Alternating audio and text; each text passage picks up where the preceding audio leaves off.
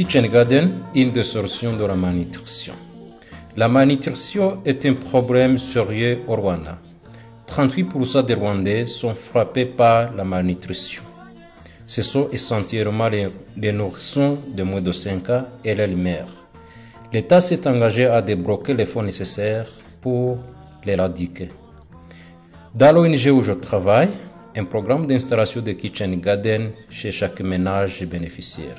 De ce fait, mon intervention est orientée précisément sur les ménages plus vulnérables de la zone rurale de la province du sud du Rwanda.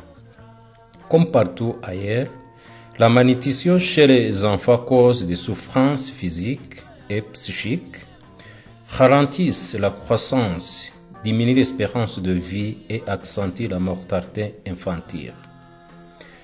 Le Kitchen Garden présente divers avantages par rapport au jardin potager. Ils sont installés plus proches de cuisine pour faciliter le travail des femmes.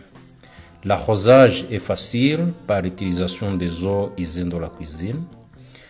Disponibilité des légumes toutes les saisons et sont biologiques.